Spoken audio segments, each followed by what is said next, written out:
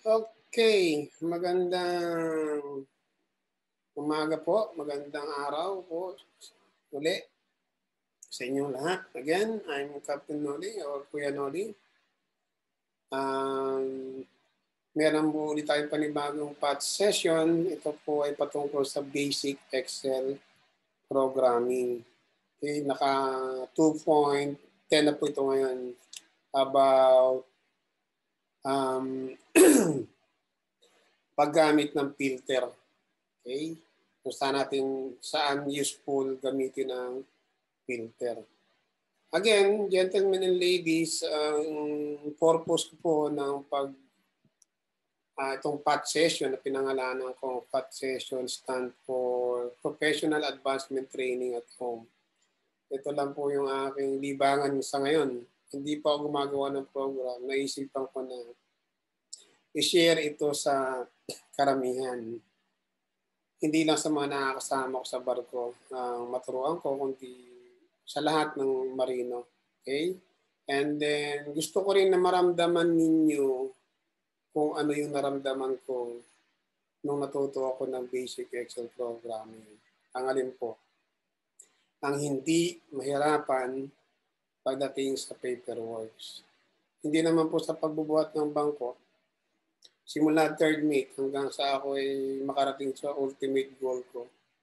Uh, never po ako na pressure pagdating sa paperworks.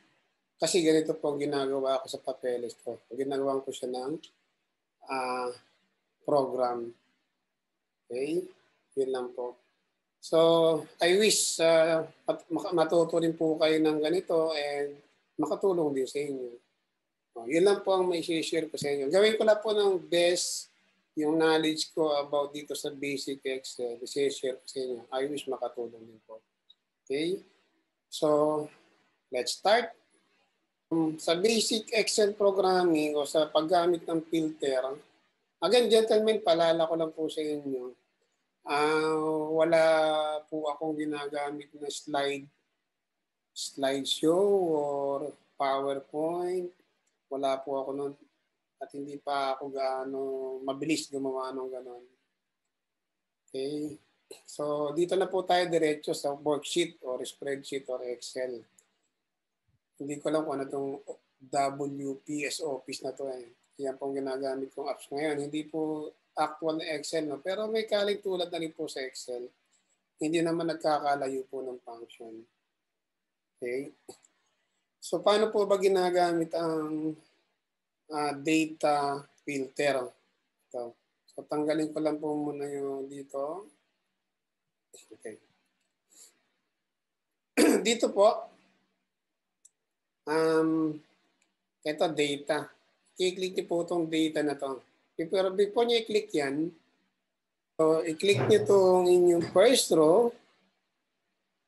Ulitin ko ulit or yung header ng database ninyo, i-click niyo po yan. Uh, next, second, next step, second step, i-click niyo itong data. La, may, may lalabas dyan. Ito bumaba, no? Bumabas. I-click niyo po itong filter. Pag once na-click niyo itong filter, kung mapapansin niyo kayo na bago ko siya ni-remove, may lalabas po rito sa mga cell niya. Every cell dito sa ibabaw, sa first row, may lalabas dyan na arrow down. May lalabas dyan. Let's see. Yan.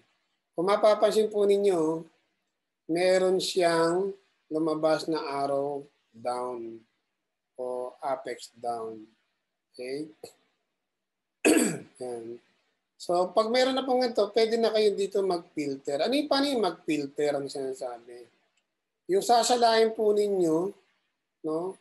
Let's say dito, salain natin na ano dito marami. Dito po, sa birthplace. Uh, i-click ito to, ilagay sa, sa arrow na yan, i-click natin yan. I-uncheck mo natin select all. Yan. Hanapin daw natin dito, Okay, let's say taga Malasiki, Pangasinan. Ito, taga Turkey. Da, dalawa, taga Malasiki, tsaka taga Turkey. Okay? And then click niyo okay. Ayan po. Ayan daw. Ang hindi, hindi ko na sinama dito yung name.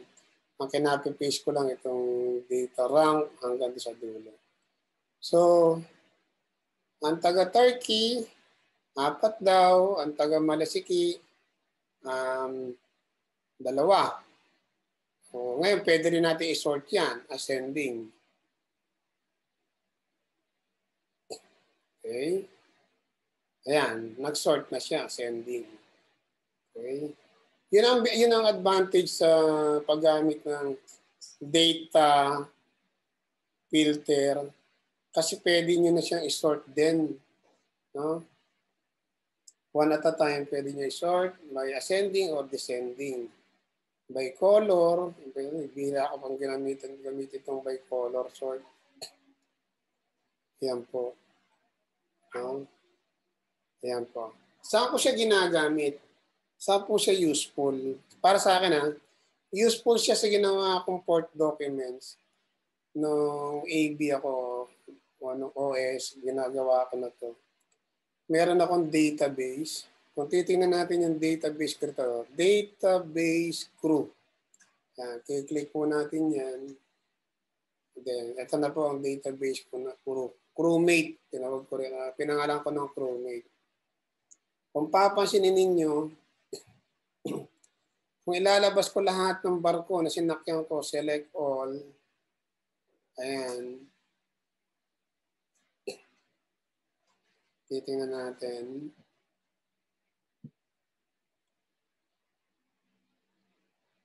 Okay, medyo mabilis yan. Ang dami po, no? Ang dami kong pinanggalingan barko. Okay, so meron na akong mga nakasama crew na about 600 na na-crew ang nakasama ko, 607 minus uh, 607 ang mga nakasama na kasama ko na crew. So sa dami po niyan, based on my crew list, sa crew list ko po, ang reference point ko sa paghanap ng mga data na to is itong number. Okay? Balik tayo po doon sa database. So nanumberan ko raw dito yung mga kasama ko ngayon on board. Okay? Ay, ang hirap pong humanap dyan. No? Sino ba yan? Eh, pwede naman natin yan. Nakasort naman siya, naka-alphabetical. Kaya lang, mahirap maghanap. So, ipipilter ko po siya by name of vessel. So, sa database ko, naglagay ako ng vessel name kung saan ko raw nakasama yung mga crew, yung tao. Okay na. Kaya meron din akong um, column ng vessels name. So isosort ko po ito by uh, i-uncheck ko itong select all. Then hanapin ko lang yung pangalan ng barko. Kalagay dyan, sabi nito, filter, uh, filter this item only. Ah. Desert Osprey. Uh, yan po yung last vessel ko.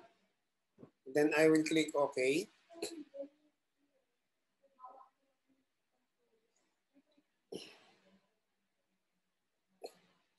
Medyo mabilis ang ating computer. Ayan. Ang lalabas po dyan, hindi po siya nabura, no? Na-hide lang po yung mga, ano, mga ibang barko. Ayan. Kung i-select all mo yan, lalabas uli ulat yung mga barko. Okay? Ang nilabas niya lang po yung yung present kong barko na sinasak sinakyan. Ayan po. Then, ayan na po yung mga pangalan ng mga crew sa barko. Then, nanamberan ko lang sila by rank. Ayan, by rank. Nanamberan ko sila.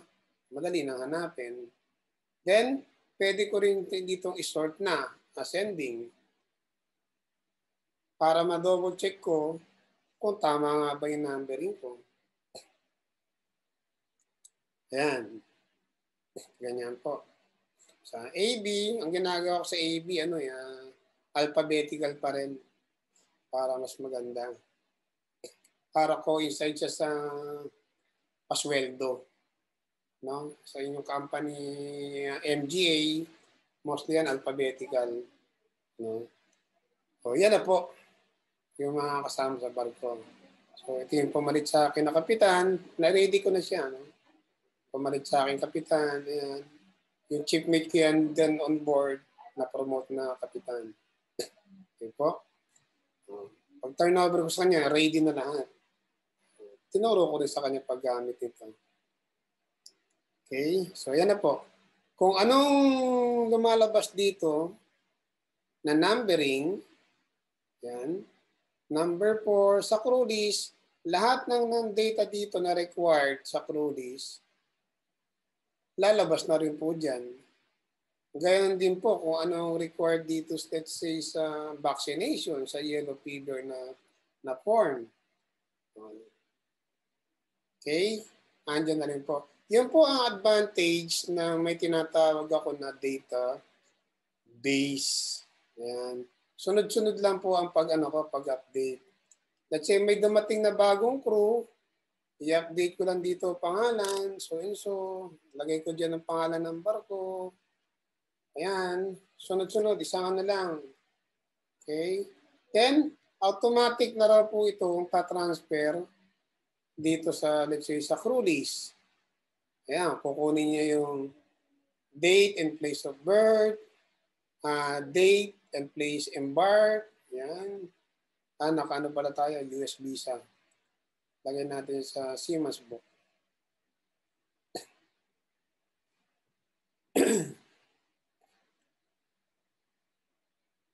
Ayan. Iba kasi ang US visa, alphabetical siya.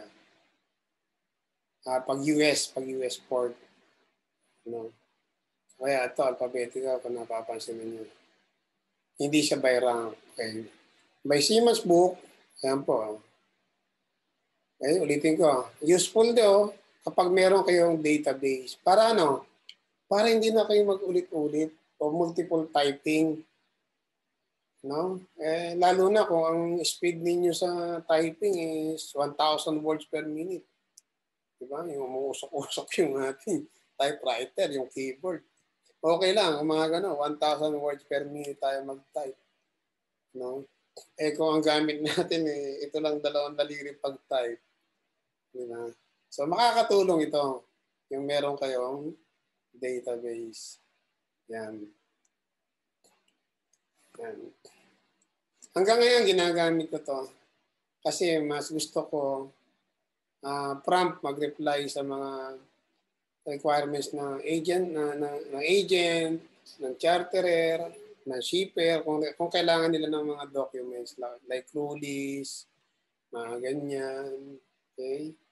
uh, as much as possible kung kaya kong gawin ginagawa ko na ayoko nang uh, ayoko na sabihin third sec bigay mo nga sa akin crew list no? it takes time pa eh you know eh, pag sampa naman ng crew sandali lang naman to pipilapan hindi to kakain ng ano ng buong maghapon o 24 hours para pag sampa ng lima o anim na crew ipilap mo dito yung ano yung data nila hindi aabutin ng ano yun okay then after mo lang pilapan oh, Baligtad. Ipa-double check mo na kay Segundo o kay Tresero. Bigyan mo lang sila ng copy ng passport, SIMAS book. No, photocopy mo lang. O, double check na to. Ang ganun yung ginagawa ko. Papa-triple check na lang. Baka may mali din ako. Diba? Ganun, ganun yung ginagawa ko. Ayan. Kasi misanan lang naman tayo. Pinapagawa ko lang kay, ano, kay, kay third o kay segundo official Dalawa kasi segundo official namin sa previous kong ito sa company ko. So pinapagawa ko yung segundo is yung ano, um, hindi naka-excel yung crew effects declaration. Sa Word siya. Sa Word ko pinapagawa. Bakit? Kasi sa Word, mas effective dun yung ano yung crew effects. Mas nakaka-save ng pages unlike sa Excel. No? i-upload ko rin yun yung form ng QFX declaration. Pwede kayong kumopya doon sa Facebook group na sa files, i-upload ko rin yun. Ito po.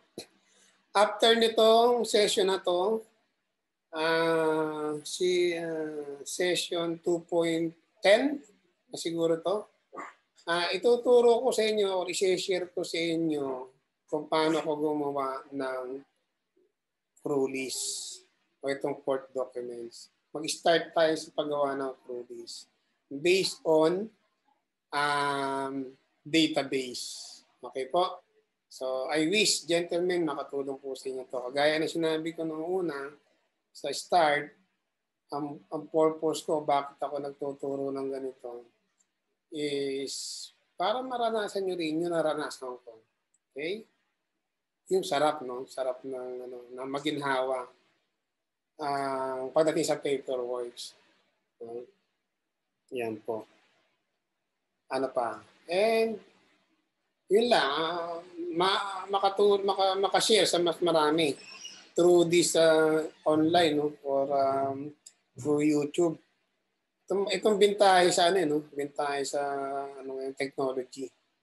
Okay? Uh, para do sa mga masisipag mag-aral, mga masisigasig, uh, para sa ito. Ang, ang ano ko lang, gentlemen, kung matuto kayo, i-share nyo rin sa iba. Okay? Bakit? Pag sinire nyo sa iba, babalik yan sa inyo. Marami pa kayo matututunan. Kung nagtuturo kayo, matututo rin kayo. Yun yan. Teaching is learning and vice versa, learning is teaching. Yun lang po. Okay? So again, gentlemen, magandang araw po sa inyong lahat. And uh, if you, uh, panoorin niyo na lang yung mga previous na session. Kung meron kayong comment, suggestion, feel free, i-comment nyo lang po. No? Kung hindi ko alam, i-google natin yun. I-search natin yun. No? Pag-aaralan ko kung hindi ko alam yung sagot. No? Hindi naman lahat alam ko talaga. Kaya hindi ako walking encyclopedia. Pero thank you kung meron kayo meron kayong comment na hindi ko alam. Bakit? Kasi may pag-aaralan ako. Yan ang ibig ko sabihin ng uh, teaching is learning. Di ba? Uh, hindi ko alam, pag-aralan ko. So, in the other, in the, in the other uh, hand, uh, nakakatulong kayo sa akin sa pagbibigay ng comment and suggestion. Most of my program, nag improve siya dahil sa comment and suggestion ng aking mga crew. Kaya mas napapadali ko yung aking papeles. Ganun po. So again, see you in my next session. Uh, mga kabaro, gentlemen and ladies, good day. Um, God bless and may your dreams come true. Thank you very much po and good day.